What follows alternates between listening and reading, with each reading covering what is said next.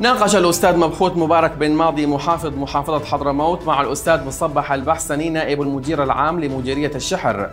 احتياجات مديرية الشحر من المشاريع في عدد من القطاعات الخدمية وخاصة التي تمس حياة المواطنين.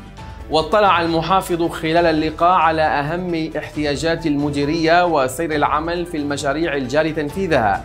في عدد من القطاعات الخدمية في مجال المياه والكهرباء والصحة والأشغال العامة والطرق. مؤكدا أن المحافظة تولي جميع مديريات المحافظة اهتماما كبيرا من حيث توفير الخدمات وتحسين مستواها.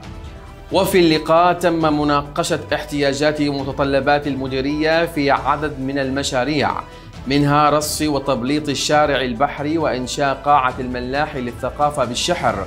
وإنشاء مبنى كلية المجتمع وإعادة تأهيل المجمع الحكومي ومصلحة الضرائب والخط الناقل للمياه الممتد من المواجهة حتى المنصورة ومحطات الرفع والمعالجة للصرف الصحي بمديرية الشحر.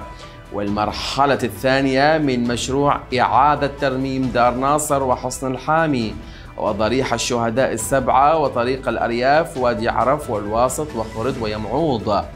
موجها المحافظ الجهات المختصة بتحديد الاحتياجات الطارئة للمشاريع لتدخل السلطة بالمحافظة لتنفيذها وخاصة الجوانب الخدمية المختلفة بالمديرية والتي تمس حياة المواطنين.